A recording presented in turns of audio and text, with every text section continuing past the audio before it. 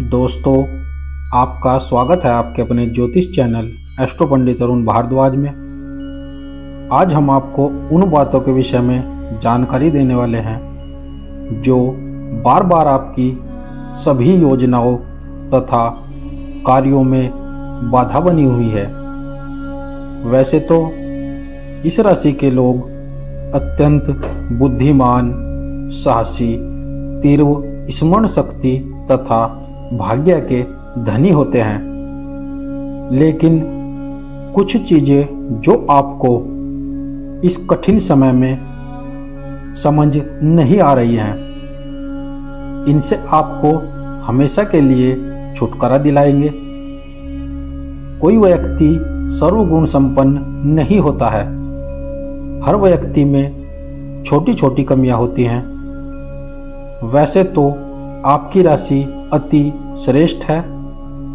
लेकिन समझदार व्यक्ति इन कमजोरियों को अपनी ताकत बनाता है। सभी समस्याओं से बचना है तो ध्यान से सुने।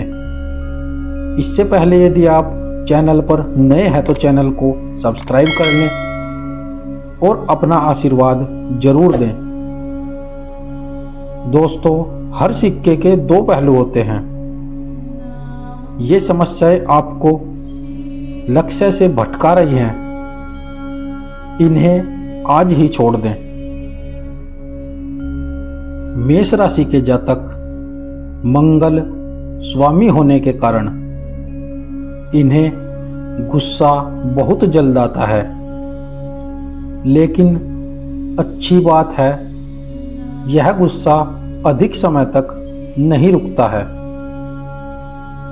इन्हें अपना अपमान बिल्कुल पसंद नहीं है।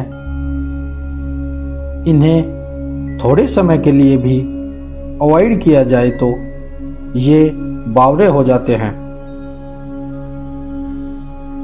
किसी बात के वाद विवाद पर अत्यधिक अग्रेसिव हो जाते हैं। जिद्दी स्वभाव के होते हैं। परिवार के किसी सदस्य से इनकी खटपट रहती है। लेकिन उसे शत्रु नहीं मानते हैं। गलती तुरंत नहीं मानते हैं। दिमाग शांत होने पर समझते हैं। सभी को अच्छा मानते हैं। इसलिए भावनाओं में बह जाते हैं। तथा अपना नुकसान कर लेते हैं। कार्यों को जल्दी जल्दी करने की इच्छा रखते हैं। इस कारण कार्य कभी कभी सटीकता से नहीं हो पाता है। आपको एक बात बता दें कि ये समस्याएँ सभी मेष राशि वालों के साथ नहीं है, क्योंकि ये चीज़ें आपकी जन्म कुंडली पर भी निर्भर करती हैं। लेकिन अधिकतर ऐसा होता है। मेष राशि को इन सभी समस्याओं को हमेशा के लिए समाप्त करने के लिए हम आपको उपाय बताने वाले हैं। आपको मंगल के मंत्र ओम क्रा क्री क्रो स भौमाय नमः मंत्र का जाप करना चाहिए। या आप एक छोटा मंत्र भी कर सकते हैं। ओम अंग अंगार काय नमः। मंत्र का 11 माला जप 41 दिन तक कर लें।